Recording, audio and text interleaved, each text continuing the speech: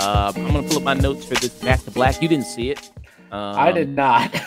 So, but I did a good old Back to Black. Are you a fan of Amy Winehouse? Like her music? I I love her music, of course. Yeah, good old Amy Winehouse.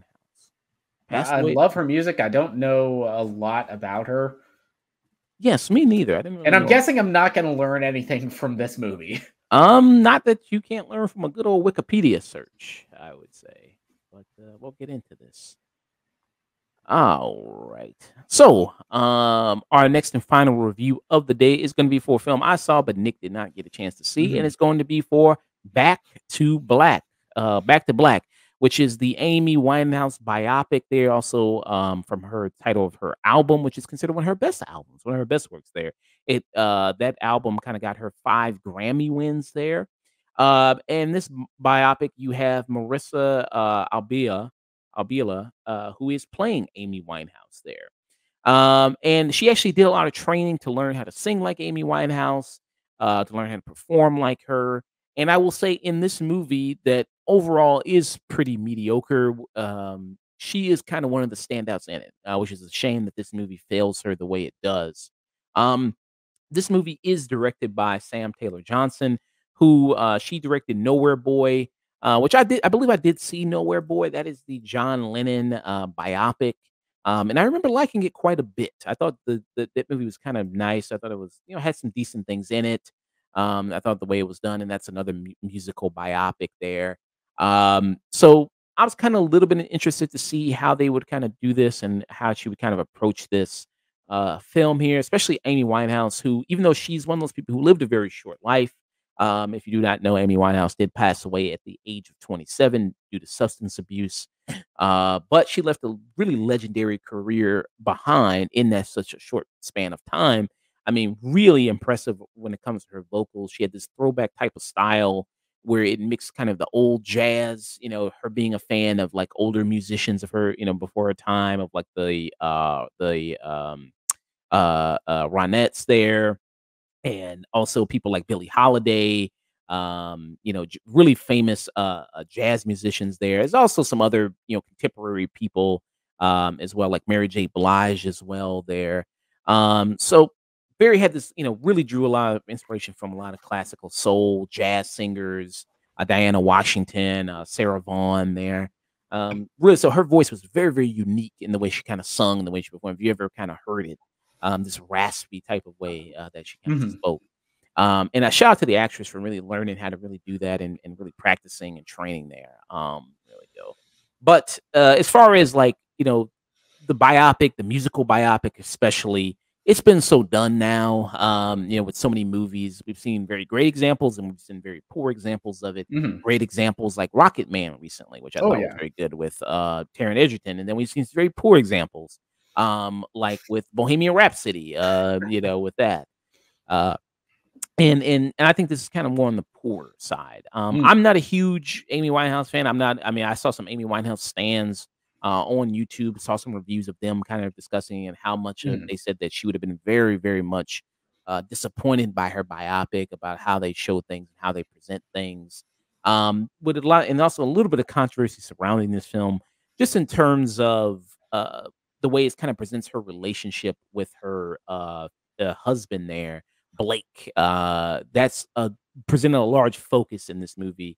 And some people think it's a little bit of a cop out the way they kind of handle the Blake character because, well, I understand it's a very toxic relationship that happened between them, um, and uh, things there that kind of left kind of poorly. And I don't know if that exactly lines up exactly what happened in real life. Again, I'm not uh, really you know big on there uh, about it about her life. Um, just know the kind of the surface kind of information there. But I think if you wanted to dig a little bit more deeper into it, uh, Hunter, uh, who's in the chat right now, he says, watch the A24 documentary on HBO Max. Uh, don't watch Pinup Girl Bohemian Rhapsody. Um, so yes, there is a documentary on HBO Max called Amy, which you can watch right now, which I thought Mhm. about checking out after I saw the movie Back to Black, just to see. So this is you know document uh, documentary here detailing her life, uh, you know, and everything like that up until her passing. and I hear it's very good. I hear this was very good. Um, I think Hmm. was it? I want to say was it nominated for an Oscar for best documentary? I can't remember.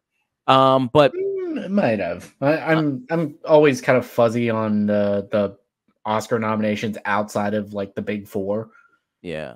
So this uh this came out in 2015 um there. Um and yeah, you see kind of a lot of her life there um and with this movie it uh, presents her relationship with Blake and also her descent into a lot of kind of substance abuse, drugs and alcohol. And this movie had the family's approval of it, uh the Winehouse. Ugh. So yeah, usually it's kind of maybe a bad sign that if you have the family's approval because of Yeah, it's, yeah, it's like nine times out of ten when a biopic has the approval of the family and the estate, you're usually going to get something that's very watered down, very safe, something that is, you know, paying tribute to the legacy of that person, but is more with uh, with the sense of rose-colored glasses than you know something a little more honest. An example I use is uh, we had two different versions of Alfred Hitchcock uh, biopics with uh, Hitchcock, which starred Anthony Hopkins, and uh, I can't remember the title, but it was uh, starred Toby Jones as uh, Alfred Hitchcock. yeah. And one had the approval of the estate, and the other didn't. Yeah. Um, so yeah, that's a good example there. The two kind of differences there of how they kind of portray people. And this was uh, Amy Winehouse, and this was Blake there, uh, which a guy with a fedora. I mean, come on now, obviously a guy with a fedora. Who the fuck would ever, I could have fucking played that. you know, especially a fedora and a tank top. I mean, Uh, you know, Fedora and a tank top, and you know tattoos that look like they were pulled from the book that you get at a tattoo shop. yeah, tattoos that look like uh, when people draw on their desk in high school and shit. Tattoos Uh, that tattoos that look like Adam Levine's tattoos. uh, and Ja- and Blake here is played by Jack O'Connell. That's who plays Mm. Blake in this. Um, uh, and he was uh, actually we just saw him. He was in Ferrari. We just saw him in that. Oh, okay. Yeah, he was in that. I mean, this is kind of just like I said, one of the situations where good lead performance. I, I do like Marisa in this. Um, uh, you know, I think she's very good, but then everything else around her, I think, just fails.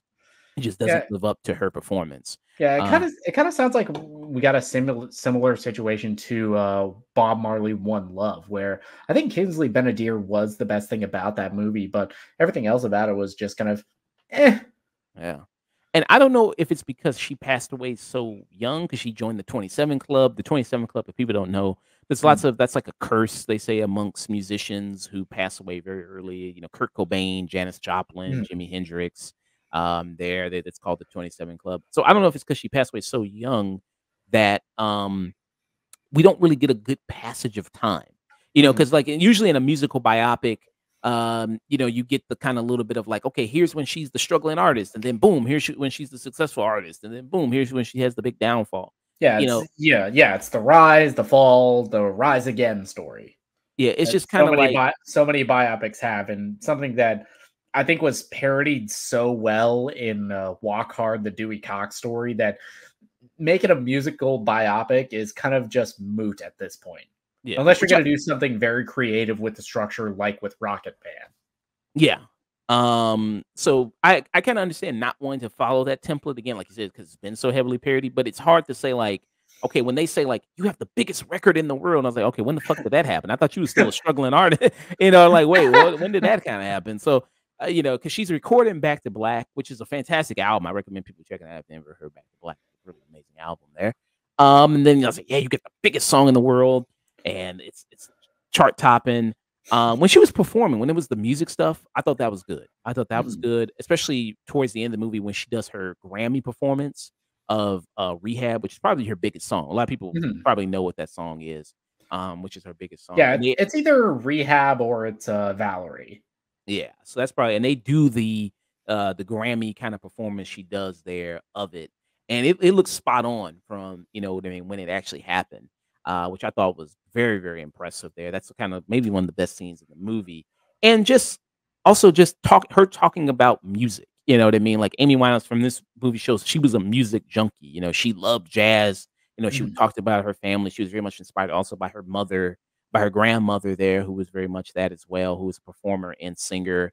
Um, and so just hearing her talk about all these different musicians and the inspirations, like I love that. I thought that was really great. uh, about how much of a music nerd she was and how much you know music made her feel. And it made me think like maybe if you went more of a Rocket Man route where the music Mhm. kind of told the stories of her life, Mhm. like kind of like that, maybe that would have worked better. yeah, Um, but yeah, but it's not our job to talk about the movie we wish we got. It's our job to talk about the movie we have. Yeah, and the movie we have is pretty mediocre and kind of sad. And well, I understand not living up to the legacy of Amy Winehouse and the greatness uh, that was her and her music. Um, so for me, with this, I would just kind of give it a. I don't know. I mean, I mean, even if you are big, because the people who are the biggest Amy Winehouse fans and stands, I don't think it seems like they're not really vibing with this too much. They're not liking it. So even if you are a big Amy Winehouse fan, it doesn't seem like you're going to really like it all that much, possibly. So there'd probably be a skip it or burn it for them. Um, if you just say like, "Hey, I just want to see a good film. I want to check it out. I want to see something that is really good." Um, I don't think it works on that level either. I think it's kind of not that interesting, really, the way they kind of do a lot of stuff. Um, so I would say it's kind of not that good there. But I, I do really think she's very good here as the lead performance. I do think she really puts a lot into it in the the, the things here that she has. Yeah, Uh, even even the very little I've seen of Marisa Abela as Amy Winehouse, I'm curious to see her in other projects. Yeah, you know, so she does put a lot into it. Um, so I'm gonna go uh just for her performance, a low streaming. Just Hmm. for that. Low streaming, just for her performance. Because I, I like it. I think it's pretty solid there. Um, and other stuff she's been in. So she was in Barbie. Um, she was in that. She Oh. was Teen Talk Barbie. Oh, Okay. Damn, you saying like, ooh, like I know, I know, like man, you didn't, you No, didn't know, no. you don't know who the hell No, I- Teen Talk Barbie is. No, I didn't like, oh, I know. Well, fuck, of course I don't know who the fuck Teen Talk Barbie was. you know, yeah. Uh, she was also in She Is Love, Industry, Rogue Agent, Five Dates. Okay, so this is the first thing I've really seen her in. I think this is like one of the really first big things that she's been in. There was this this biopic there, but yeah, this uh, is like her first like major project in Hollywood besides Barbie. yeah. Um. So yeah, yeah. That was my thoughts on Back to Black.